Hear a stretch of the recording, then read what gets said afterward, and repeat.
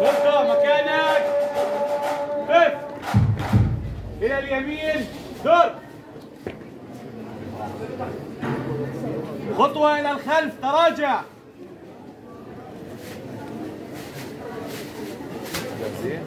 مكانك. عد.